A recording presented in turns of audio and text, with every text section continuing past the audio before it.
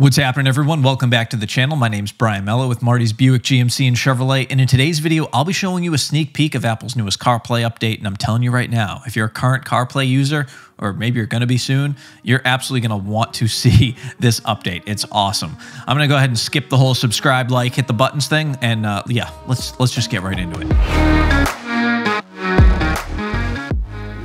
All right. So, for those of you who don't follow the tech space as much as I do, Apple had its Worldwide Developers Conference yesterday. And although normally I don't really care all that much about Apple's events unless, you know, they're going to show me what my next iPhone's going to look like, when I heard rumors of a massive Apple CarPlay update, all right, you guys, you got my attention a little bit now. And this update turns out, yeah, uh, it's awesome. And it's awesome whether you're a hardcore tech enthusiast or not. For starters, this is a complete overhaul of CarPlay giving your phone a much higher level of integration into your vehicle systems by not only just taking over your main display like you're used to, you know, you plug it in or you use it wirelessly, pops up on your main display, but also it's going to expand into any additional displays that may be inside the vehicle, like for instance, the digital gauge clusters that we're now seeing in the 2022 Sierra and Silverado. Yeah, it, it's cool. Now, in addition to the ability to utilize multiple displays, CarPlay users will also be able to add you know, trip information, check the weather, live radar, utilize Waze, see their fuel levels, charge levels, calendar updates, everything you could possibly think of, all by utilizing brand new widgets, of course, designed by Apple, all of which also have the ability to scale in order to look great on any screen. So no matter where you put this thing, it's going to look awesome. And in order to give you a better idea of what exactly to expect, I'm going to shut up and here's a quick look at exactly what Apple showed us yesterday.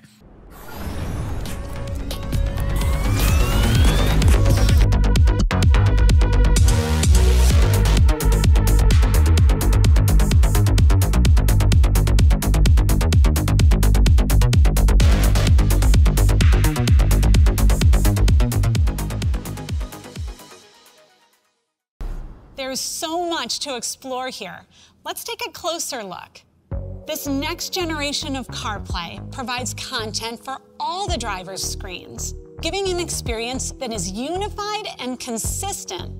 It's the very best of both your car and your iPhone, and it goes beyond what you can do with CarPlay today. Deep integration with the car's hardware lets you tune your car's radio or change your temperature without ever leaving the CarPlay experience. It also includes widgets powered by your iPhone that fit your screens perfectly. They can live front and center in the gauge cluster as well, giving you information at a glance. In fact, this next generation of CarPlay powers your entire instrument cluster.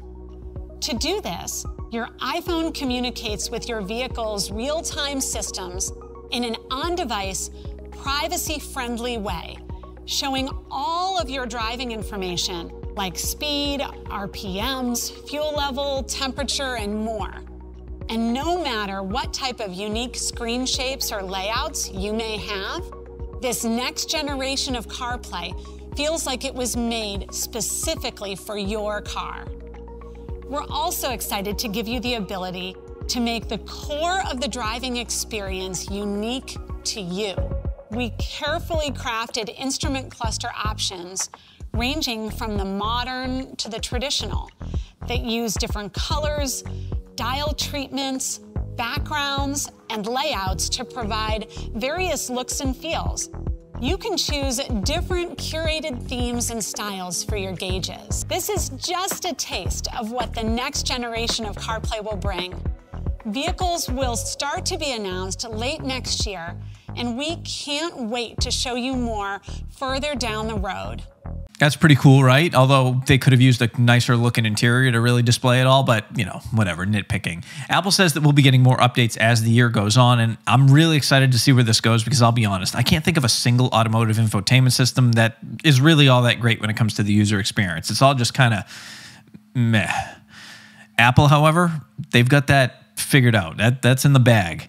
And if we start getting more third-party developers jumping into the ring, this could get really interesting really fast with more customization, more personalization, and just more advancements to improve the connected experience inside your vehicle. And one of the first things that I actually thought of for for an app, if someone takes this and runs with it, good for you. Uh, you know, think of like an off-road app. Maybe uh, it maps out the trails around me And when I hit those trails, maybe it knows about the hazards on the trail and it displays them in augmented reality in front of me on the screens. You know, like I said, things could get really interesting really, really fast. According to Apple, 98% of all new cars already have CarPlay, and 79% of users actually consider that feature before they make a purchase decision. So let me know in the comments below if you use Apple CarPlay now, or what sort of features you'd like to see in the future, whether or not you're into this update, whether or not you care. Maybe you don't. Uh, but as always, I'd like to thank you all for watching. If you made it this far in the video, you know what to do. You know, help me out. Smash the like button. Subscribe if you haven't already. Stay up to date on all things General Motors. Be sure to check out my friends over at gmpartsdepartment.com for all your GM OEM parts needs, and I'll catch you all in the very next video. Thanks again for watching, and take care.